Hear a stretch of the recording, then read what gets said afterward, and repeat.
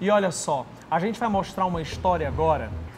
Presta atenção, a polícia estava no conjunto Palmeiras para cumprir mandados de prisão e foi abordada, isso mesmo, abordada por um homem que ordenava que baixassem os vidros da viatura descaracterizada. Poxa, Dá para aí, acreditar? Isso mesmo, Manuela. E aí, o homem só não contava que os passageiros do veículo eram policiais. Sabe o que, que aconteceu?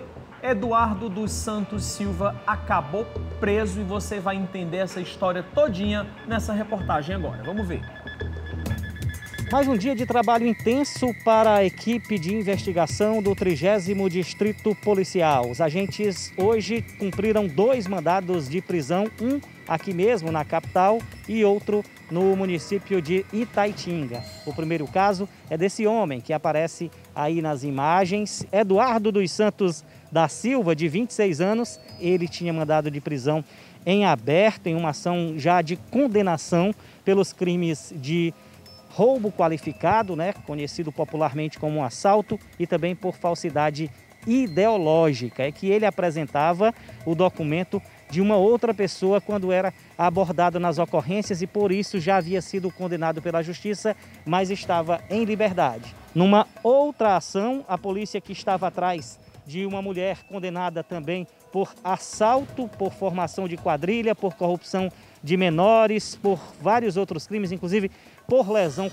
corporal, o que indica que é uma pessoa também bastante violenta. A Tainá Pereira de Oliveira, de 25 anos, era procurada da Justiça do município de Tabuleiro do Norte.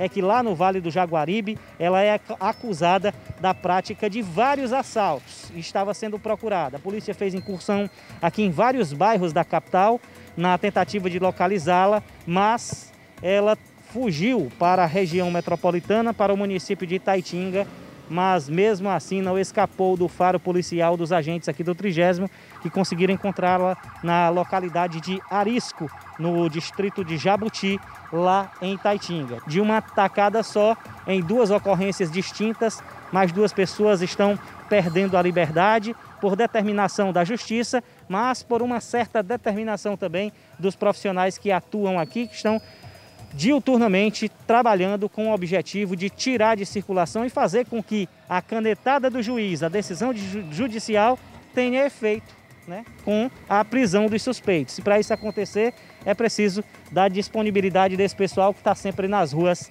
combatendo a criminalidade, combatendo a impunidade, sobretudo, garantindo que a decisão judicial não fique apenas no papel, mas também se cumpra de forma material com a apreensão e a captura desses suspeitos. Os dois casos aí eram duas pessoas bastante procuradas já pela justiça e hoje eles foram encontrados aqui pelos agentes do 30DP.